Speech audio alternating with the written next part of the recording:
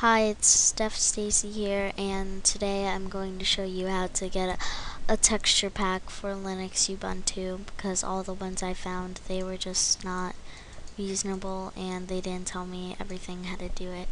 Now, this one is just a simple way how to do it. Um, yeah, so the first thing you're going to do is go to your internet browser.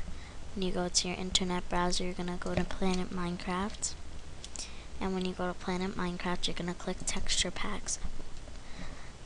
You're gonna pick a texture pack you really want. Like a texture pack you really want.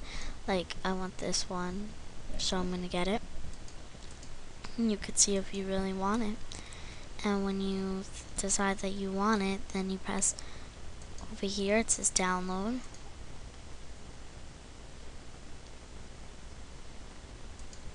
and you'll click download the texture pack.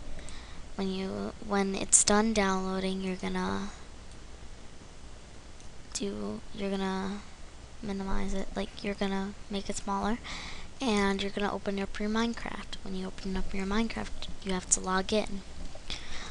Once you've logged in you can go to your texture pack folder well your texture packs and then open texture pack folder.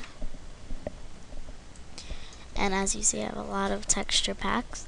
So when you you have to click and drag the texture pack into your texture pack folder. After that you X out your your texture pack. And you might not recognize the picture of it but I do so it's pure Simplicity.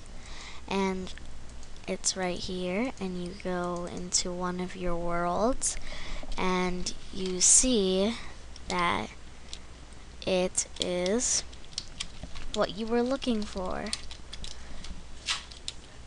And that's really all it is to it. So subscribe like and comment